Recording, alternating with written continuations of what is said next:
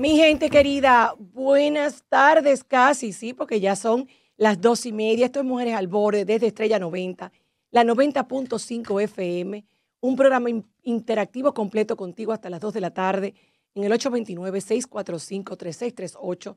Tomen nota, ese es nuestro WhatsApp, el que le di, pero si nos quieren llamar, 531-9050 y tenemos nuestro número de Dominican Internet desde Estados Unidos libre de cargos. Mi gente querida, nos levantamos hoy con una noticia que se ha hecho viral y obviamente que tenemos que hablarlo porque es un tema neurálgico para la República Dominicana y para las mujeres al borde, que precisamente estamos siempre buscando la manera de crecer juntas para seguir empoderándonos desde el alma, no desde el ego.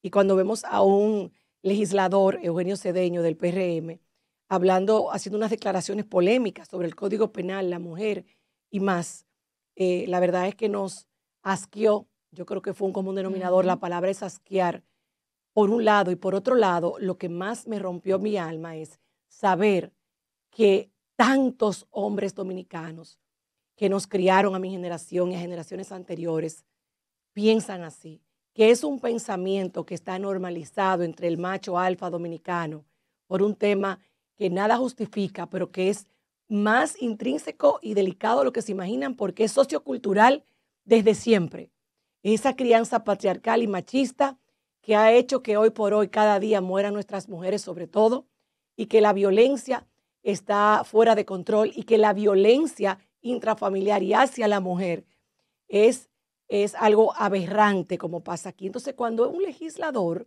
que representa al grupo de personas que hemos escogido para trabajar el tema de nuestras leyes, del Código Penal tan importante, las personas que están ahí para ser voces del pueblo, piensan de esa manera hoy, hoy, un día como hoy, en este año 2024, en el siglo XXI, tú dices, Dios mío, ¿dónde vamos a parar? Pero para el que no se conectó, yo le quiero poner el audio, uno de los audios que más nos consternó, para que lo hablemos y ustedes también nos llamen y se desahoguen. Si yo estoy casado con mi esposa y yo me retiro el condón para embarazarla, eso no tiene que ir al código. Aunque ella no quiera. Ni siquiera al código civil. No, porque ¿para qué se casó conmigo? ¿Y para qué se encuera conmigo? Eh, podríamos seguir escuchando la entrevista entera que le hicieron. Eh, y la verdad es que es penoso, es vergonzoso, es bochornoso. Yo me imagino que nuestro presidente, yo no sé si le corresponde a él, pero ya a este momento debe estar fuera de su servicio eh, y amonestado de una manera muy dura, porque si hay una promesa de campaña que muchos entienden que no se ha cumplido, es el tema de la mujer, donde se han hecho casas de acogida y se valora muchísimo, pero no es suficiente. Es un tema neurálgico, sociocultural. Y los políticos, de alguna manera, es, es definitivo que el hombre con poder es como que no solo aupa, sino que se ensaña contra su propia mujer, entendiendo que su esposa es un objeto que le pertenece. Literalmente. Entendiendo que tan pronto se firmó un papel, sea por la iglesia o, o no, ella le pertenece. Ese es el pensar de un hombre como este, que lo que quiso decir es que él puede violar a su mujer, porque ella es su esposa. ¿Para qué se le encuera?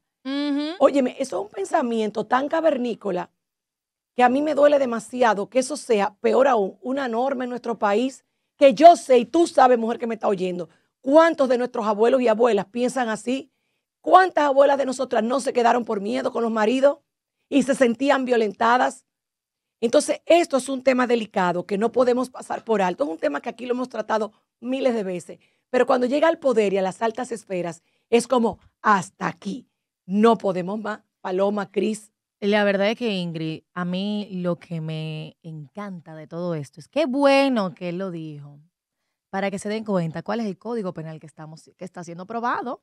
Porque he dicho y he reiterado mil y una veces en este programa que nos hemos dejado cegar.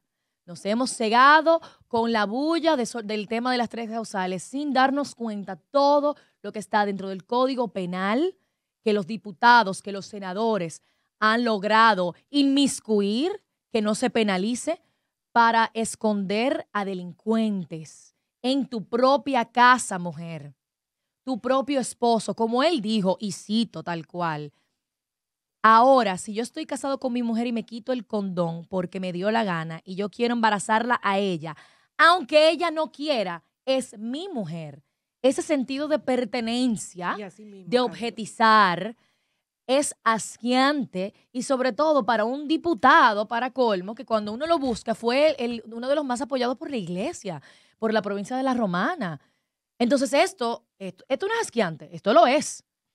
Y es inconcebible como nuestro Código Penal, el que ya fue aprobado por el Senado y va a pasar a la Cámara de Diputados, que hubo dos, solamente dos senadores, entre ellas una mujer, Farideh Raful, que la única de las pocas personas que votaron en contra y la gente lo celebró como miren y, y las- y la, y, la, y la criticó a ella de que miren, vieron, es porque no incluye las tres causales. No, mi ciela, Wow. ubíquense, lean, indaguen, no se dejen vender espejitos por oros, que hay muchos otros temas dentro de ese código penal Que no más- están bien. Que no están bien y más adelante les voy a compartir, porque ahora mismo lo que a mí me aterra, Ingrid, es que él es uno de más de cientos de diputados que posiblemente piensan así. Y a la Cámara de Diputados es que eso va.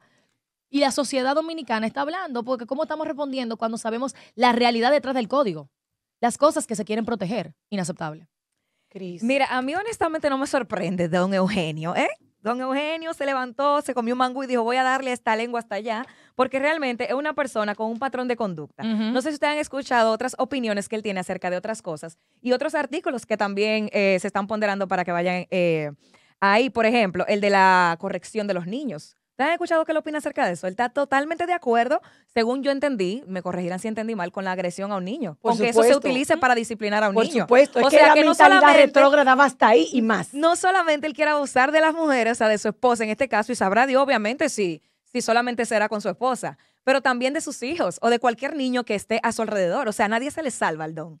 Yo estoy, yo estoy de verdad, y entonces él se escuda debajo de que no, porque la ley 2497 es una ley antihombres, porque está concebida para perseguir el hombre y que el hombre se le ataque y que el hombre es violado. Es verdad, y eso lo hablábamos, ¿se acuerdan? Ayer con el tema de que los hombres cuando son agredidos muchas veces reciben burla y demás. Pero y, una y los apoyamos ahí, los porque es un tema de violencia más que de género, pero en este caso Exacto. es un legislador que está hablando. Exacto, es la manera de él expresarse y, y de utilizar esos términos, como decía Paloma, de referirse a la mujer o a cualquier ser humano como que es tu propiedad y como que es tu fábrica de reproducción. Déjame decirte una cosa, yo soy de las personas que abogo porque cada mujer tiene derecho único y soberano sobre su reproducción.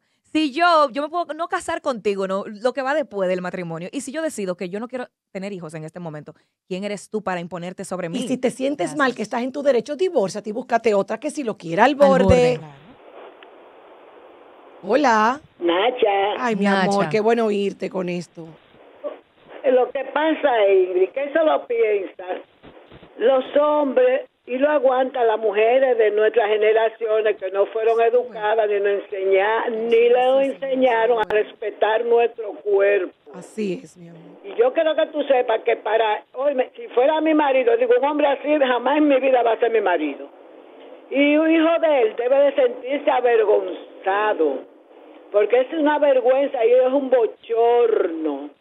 Lo que pasa es que aquí escogen eh, eh, eh, esos legisla- legisladores sin investigar, sin saber, porque es que antes tú conocías a los militantes de tu partido, ahora cualquiera No. se está, eh, eh, va a unas elecciones y la gente no le importa averiguar quién es, no cómo se comporta tu vida, la gente no tiene que ver con eso. Y para mí, tu vida privada tiene que ver mucho con tu accionar y con tu vida pública. Todo, Nacha, porque Entonces tenemos que se ser que coherentes. Es un hombre que está muy herido. Ese hombre fue criado de esos que se estaban en, en, en Guayo. Estoy de acuerdo contigo, mi Gracias, amor. Nachita. Miren, yo quiero dar los números porque yo quiero que ustedes aprovechen y de manera respetuosa nos desahoguemos, porque definitivamente creo que esto es la tapa del pomo, porque como dice Cris, realmente a mí no me sorprende. No. Yo que soy la mayor de ustedes, yo sé que es una mentalidad sumamente, tristemente común en las generaciones que incluso me criaron a mí. Todos los que son de mi generación tienen un abuelo, un tío que tiene esta mujer en la calle que piensa así y es bochornoso. Pero que esté en manos de un político de poder que toma es. decisiones fundamentales ya es algo muy preocupante. 809-531-9050. Y pueden escribir o dejar mensajes de texto o voz en el 829-645-3638. Te voy a, les voy a aclarar lo que dice el artículo 134 de violación sexual en nuestro Código Penal. Y dice lo siguiente. Ese es no el se actual, considera- ¿verdad? El que tenemos Ese, actualmente. no, no, no, No. El que se está probando. El que se está Ah, ok, probando. Porque eso es lo mejor, es que estamos dando eh, un paso para adelante y tres para atrás. Ay, ay, ay, dale. Dice es lo lo siguiente, nuevo. no se considera violación si no hay penetración. En el caso de abuso sexual, como el manoseo sin consentimiento, eso no se cataloga como una violación. Pudiese considerarse como otro delito, que no es lo mismo violación sexual. Luego, además, propone reducir las penas por violación si esto ocurre dentro del matrimonio. Ah, Ah, sí. ok, o sea que es La actividad sexual si mi marido me viola a mí, le echan 10 años. Pero si te viola a ti, que no eres su mujer, No. le echan 20. Sí, es así, lo están debatiendo. La matri- pues sí, el matrimonio, en el- dentro del matrimonio, Como la si pena fuera máxima diferente. es de uno a tres años. Ah, esa es la pena peor. máxima. Ay, peor. No, no, no. Mientras que la violación sexual es la que va a ir de 10 a 20 años. Ah, ok. Bueno, No es la del matrimonio, o sea, peor. peor todavía, Peor porque el- no, es horrible. O sea, lo que me quiere, lo que me quiere dejar este mensaje es que todo depende de quién me abuse. Que si claro. me abusa mi esposo, No es nada, no porque él es tu esposo. No es nada, porque él, ajá, es mi esposo y Eh, yo me y casé tú te la con él, encueras, acuérdate, tú te la ¿verdad? encueras. Sí, yo estoy para Tú eso. eres de él. Entonces, nada, nada, no pasa nada. Señores, estamos hablando bien. irónicamente, pero no debemos hablar irónicamente porque este es un tema que a No, mí de porque es el verdad- mensaje que ellos quieren dejar dicho. Sí, es el mensaje, pero yo necesito, mira, ya se expresó, lo tengo aquí, pro familia. Y pro familia eh, decía a Eugenio Cedeño, el matrimonio no es una licencia para abusar o someter a nadie. Entiende que el legislador con esto contribuye a la normalización de la violencia contra nuestras mujeres. Pro familia reaccionó rápidamente a las declaraciones del diputado del Partido Revolucionario Moderno, Eugenio Cedeño, en torno al Código Penal, eh, al que ya aprobaron los senadores, Paloma, a las que defendió su postura en torno a que no sea penalizada las relaciones sexuales no consentidas eh, por la pareja. A continuación, reproducimos el comunicado de Profamilia. La reciente declaración del diputado son un claro ejemplo de la violencia machista que aún persiste en nuestra sociedad. En nuestra sociedad. Sus palabras no solo son ofensivas, sino que promueven y perpetúan la idea de que las mujeres son propiedad de sus esposos y no tienen autonomía. Se oponen, obviamente, al borde. Ingrid, Mi amor, ¿ves que no te puede sorprender? Porque la iglesia está metida en eso. Y tú sabes, aquí los, los padres violan y eso no importa. y la pena es menor también. queda no, y se queda que no. de eso, tú sabes, la- ahora lo que están de que los cristianos, Ay, esos que Dios han salido de estos muchachitos, pero la iglesia, porque tú no te imaginas, hasta la misma monja, Trini, eh, oye que Trini, ay, mi amiga querida, eso es lo que está pasando, es que depende quién viole. Gracias, Miren. Nacha. Yo quiero que ustedes sepan, ya que Menacha mencionó el tema de la iglesia, el Código Penal nuevo, el actual, el que va a pasar ahora a la Cámara de Diputados para ser aprobado, dice lo siguiente en el artículo 14, y es que exime a las iglesias de responsabilidad penal. Es decir, si a tu hijo o hija lo viola un cura o pastor, el obispo que mantuvo, que mantuvo al agresor en el cargo y ocultó sus crímenes, no podrá ser demandado y la iglesia no tendrá que indemnizar a la, a la víctima. Es decir, básicamente la iglesia es la que va a asumir la responsabilidad de qué va a pasar. Y lo único que en este caso se estila es que posiblemente simplemente lo transfieran a otro lado. A que violen otro sitio. No, que no, no, espérate, para otro espérate, espérate. No, no, legal lé- no hay. léelo de nuevo, eso es actual. Que sí. ah, bueno. 809-531-9050. Al borde, hola. Hola, buenas chicas, ¿cómo Ay, están? no, estoy indignada, de verdad. Tengo hasta asco, literalmente. Bueno, mira, de esa barra basada hay poco que decir porque eso se dice solo. Yo lo que quisiera decir es algo que en el programa, sobre todo Paloma, recomendó mucho en época de elecciones. Analicen a quién usted le va a dar su voto, ¿eh? Sí, señor. Analicen, Ni por siquiera lo haga por partido, es por No. conciencia de propuesta. sabe. Love you, estoy contigo, al Gracias, borde. De verdad, me siento tan decepcionada. Hola, Hola, ¿cómo ¿Cómo estás? estamos muy bien. Cuente todo, hermano. ¿Cómo se siente usted con estas declaraciones?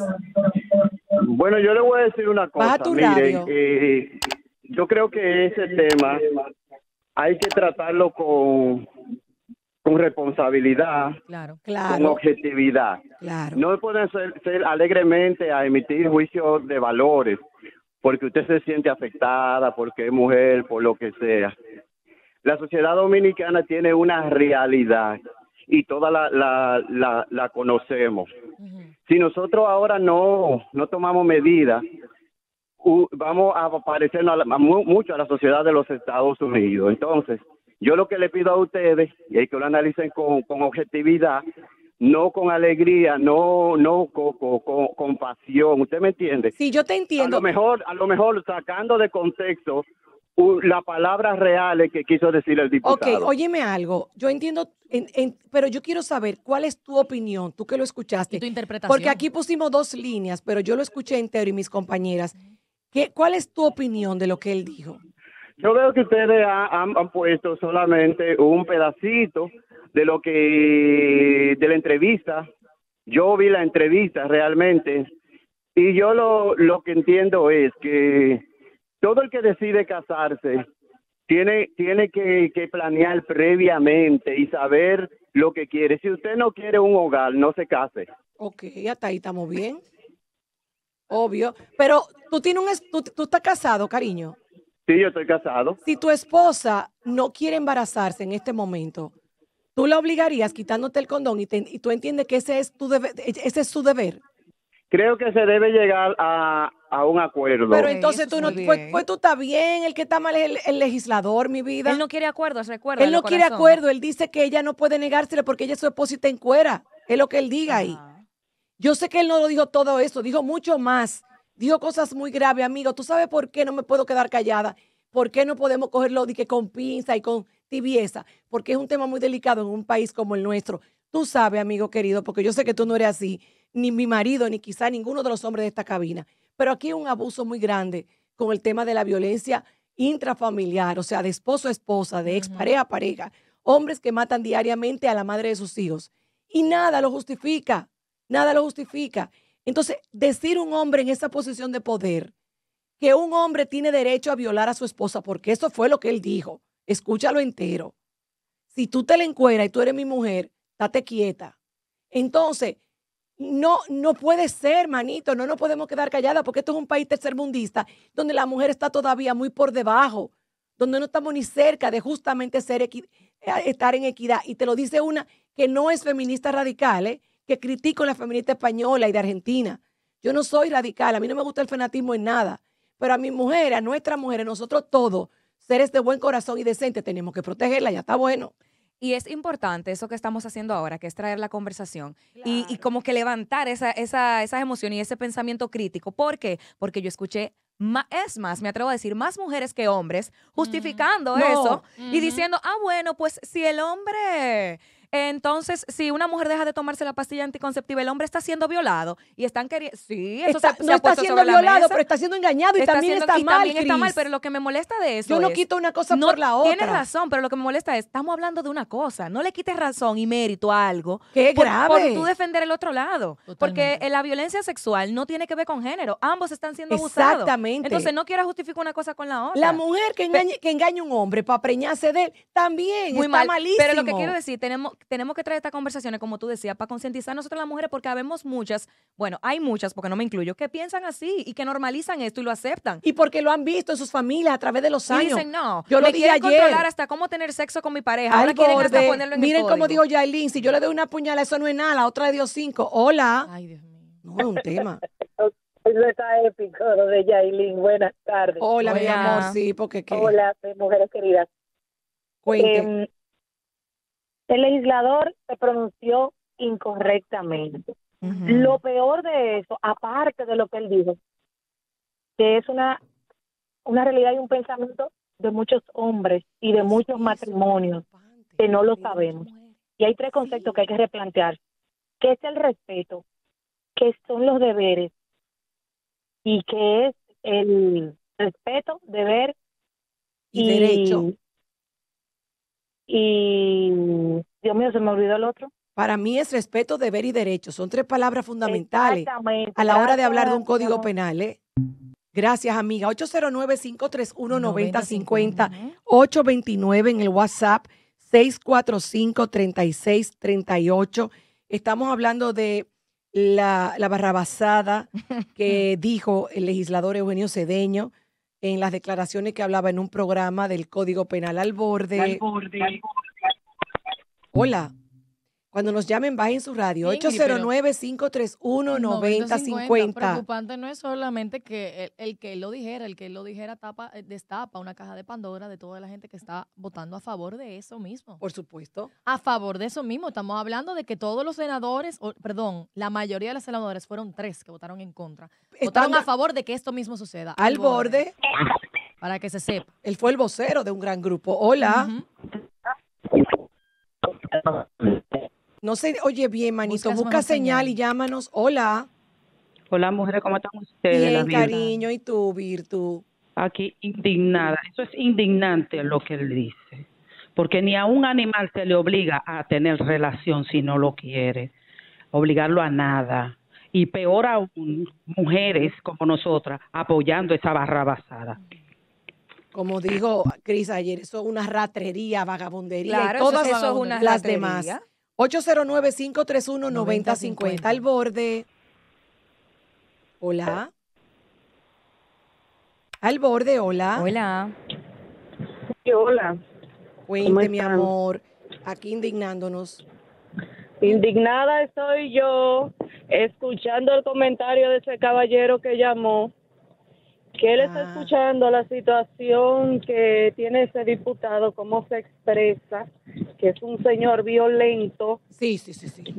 Entonces, no solo él está pasando la mano y diciendo que nosotras que no nos apasionemos Ah, sí, con es. el Que caso. seamos objetivas. ¿Mm? Sí, que nos pedía ¿Cómo es que objetividad. nos vamos a defender?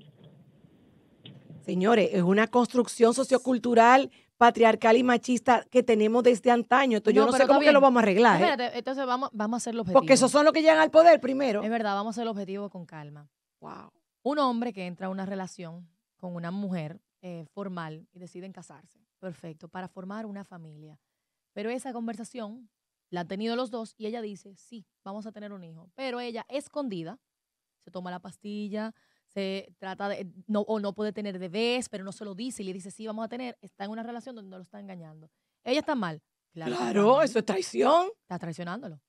No Y le- lo no- está engañando. Lo está engañando, eso a nivel emocional, no penalmente. Ahora, vamos a lo contrario. Estamos en una relación, nos vamos a casar. La mujer dice, yo no quiero hijos. Y el hombre dice, no te preocupes, no tenemos que tener, porque él estaba hablando de que uno se casa para tener hogar. Hogar y familia son dos cosas diferentes. Exacto, hogar van a tener, gracias. porque van a tener una casa. Familia, incluso dos personas hacen una familia. Eh, decide que no quiere tener hijos. Hay personas hoy en día que no quieren. Sí. Y miren, eso es perfectamente válido para cada quien que lo decide. Y luego ese hombre dice que al principio no quería y al final sí quiere, y lo que hace es obligarla a tener un hijo de él. Tú me disculpas, pero eso es una agresión sexual. Eso es una violación si la penetración se lleva a cabo de una manera de que la, la esposa no está de acuerdo.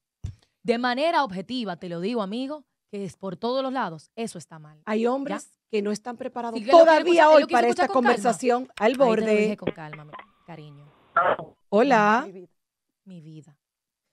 te Hola, escucho. buenas tardes. 809-531-9050. Miren, parece mentira, pero más hombres de lo que ustedes se imaginan no están preparados para esta conversación. Vamos a escuchar a la- al, Al borde. borde. Hola. Baja tu radio. Hola. ¿Qué tal? que lo estoy bajando. Ok, cuéntanos. hombre, me gusta. Mira, yo creo que el tema es más profundo de lo que están tocando, Ok. porque, decir algo, hasta que las mujeres no entiendan que el primer problema es la educación que le dan a sus hijos, Sí, es cierto. porque esos hombres que están Ay, hoy en día fueron criados por mujeres. Sí, sí, tristemente. No te quito la razón. Exactamente. Entonces, cuando eso cambie, Totalmente. vamos a comenzar a ser mejores como sociedad. Excelente intervención.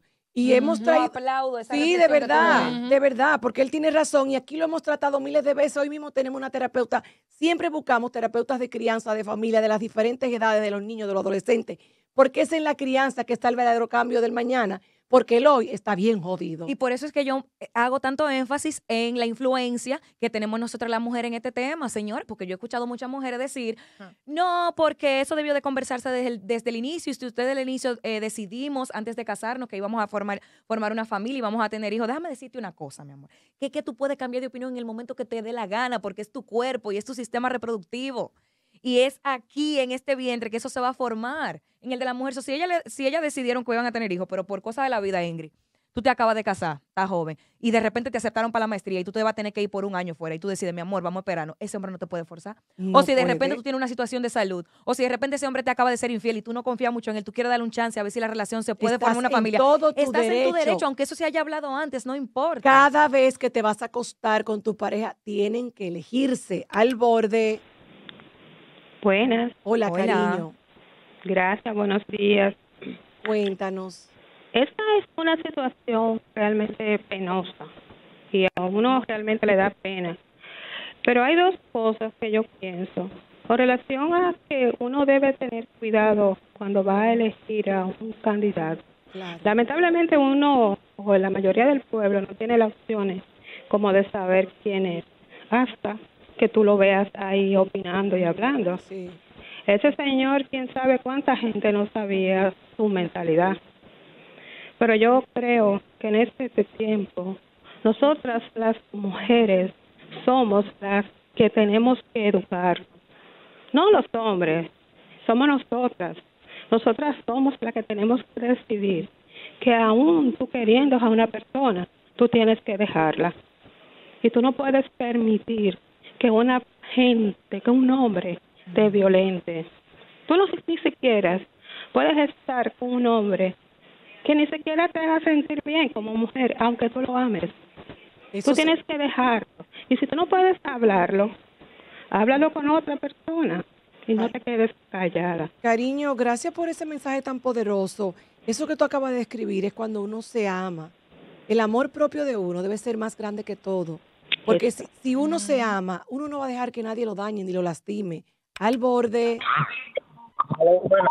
Hola, te escucho. Bu- Busca señal, cariño, busca señal. 809-531-9050. Hola. Hola. Querida, cuéntame, ¿qué sientes tú? El poder no se le puede dar a una una persona como esa, ese legislador. Tenemos que revisarnos como sociedad. Qué pena tener un reflejo. legislador como usted. Estamos mal. Lo que pasa es que no queremos pensar Gracias, a la hora de manita, tienes razón. Al Votamos borde. por- no, es que aquí no se piensa. Hola. Tenemos que educarnos. Hola, chicas. Cariño. La verdad que que el comentario de ese diputado me recuerda mucho a los mismos comentarios que he escuchado de mujeres, de que nosotras como mujeres tenemos que dárselo al hombre aunque no queramos. Entonces, como dijo un caballero anterior, lamentablemente el machismo está fundado mayormente por la crianza, por las mujeres. Por supuesto, ¿cuántas de nosotros no escuchamos alguna vez a nuestra abuelita y a nuestro abuelito, ambos, decirle a los niños, a los varoncitos, de que dime, ¿cuánta novia tú tienes?